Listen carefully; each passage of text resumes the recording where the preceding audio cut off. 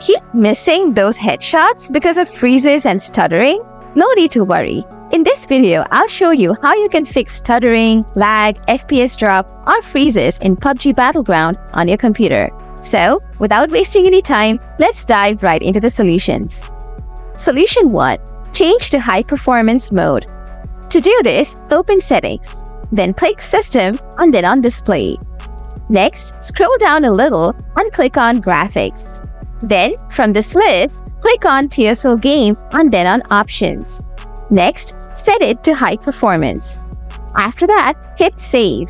This should help with the issue as well. Solution 2. Change in-game graphics. To do this, open PUBG Battlegrounds on your computer. Once in the lobby, click on the gear icon from the upper right corner of the screen. Then click on Settings. By default, you should be in the Graphics tab. From here, cap Lobby FPS to 60 FPS. Then switch to the Advanced tab. Now, change the render scale to 90. Then set the FPP camera FOV to 90. Now, select Low as the overall graphics quality. After that, hit Apply and check if the stuttering issue is solved. Solution 3. Close unwanted applications. To do this, open up Task Manager by right-clicking on the taskbar here and then selecting Task Manager.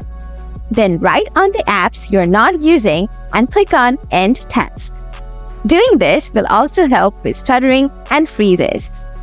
So guys, that's how you fix stuttering and freezes issue in PUBG Battlegrounds on your computer. If the video did the trick for you, smash that like button. And if you have any questions, feel free to drop them in the comments below and I'll get back to you real soon. Thanks for watching.